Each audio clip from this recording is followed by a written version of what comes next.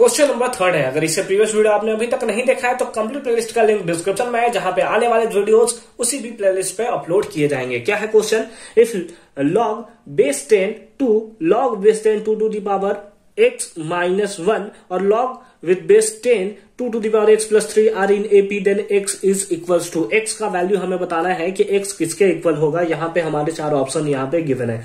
तो ये उस टाइप का क्वेश्चन है जो थोड़ा टाइम टेकिंग है है ना? थोड़ा टाइम टेकिंग है।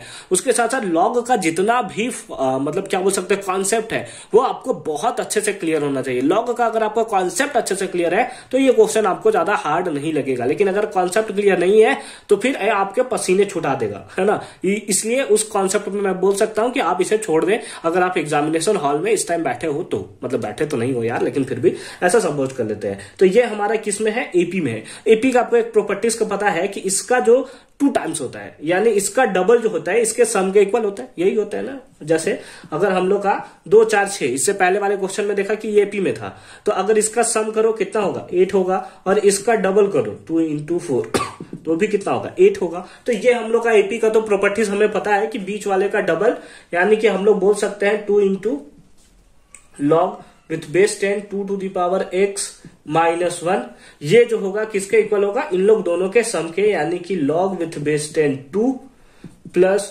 log with base ten two to the power x plus three ठीक है? इस टाइप से हमें गिवन है। अब आपको पता है लॉग का एक और प्रॉपर्टीज़ होता है लॉग अगर m to the power n होता है तो इसको हम लोग लिख सकते हैं n लॉग m लिख सकते हैं ना, इसको लिख सकते हैं। और अगर इस फॉर्म में हमें गिवन है, इस फॉर्म में अगर हम लोग गिवन है तो उसको इस फॉर्म में लिख सकते हैं।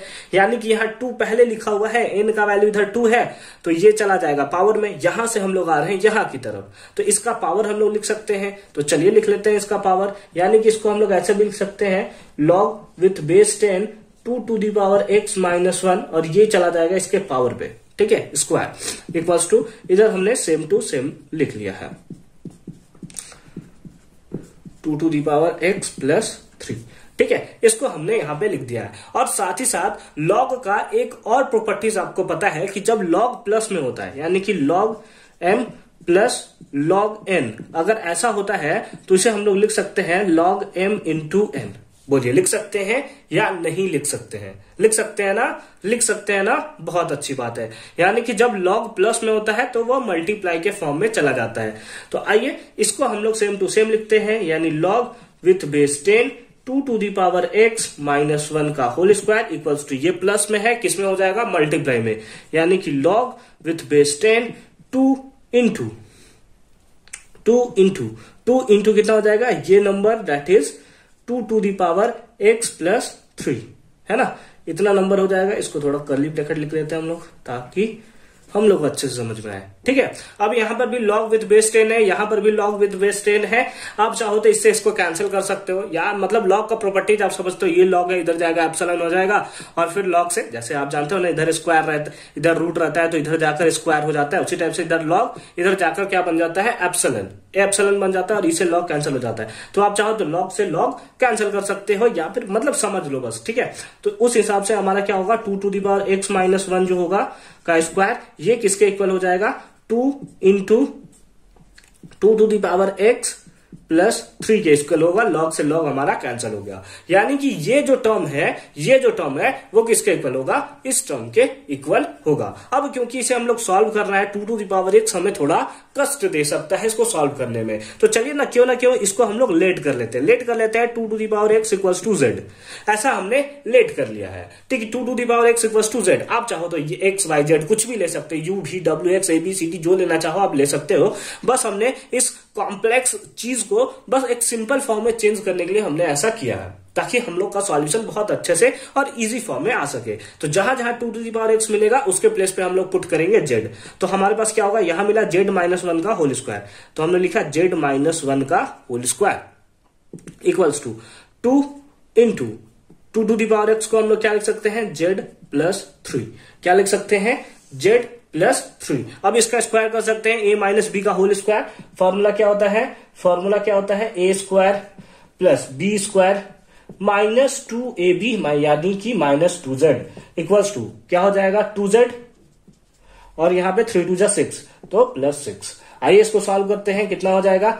जेड स्क्वायर है तो जेड स्क्वायर लिख लिया माइनस टू जेड और इधर से प्लस में था, इधर आता तो माइनस में, यानी कि माइनस फोर जेड यहाँ प्लस वन और ये इधर से आता माइनस सिक्स तो कितना आ जाता minus five equals to zero minus five equals to zero यानी कि अब हमें यहाँ पे क्वाड्रेटिक इक्वेशन मिल चुका है, आइए इसे फटाफट से सॉल्व करते हैं। देख रहे थोड़ा लेंदी है।